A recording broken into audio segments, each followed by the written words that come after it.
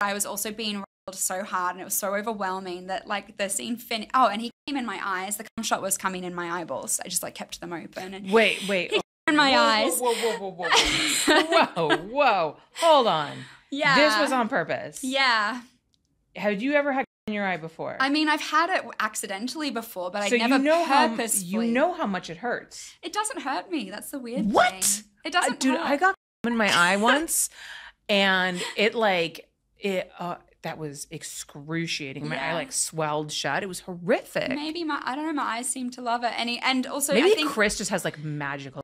Probably. That's, like, I would really believe clean. that. Also, I think both eyes, I think when I get it in one eye, I can feel the difference more, but both eyes, it all felt the same. I couldn't see anything afterwards. It was all white. And I was just so overwhelmed because it was such a good experience for me. I started crying at the end. So this this video is going to come out and I just start like Did you cry out? Did that help? it didn't go anywhere.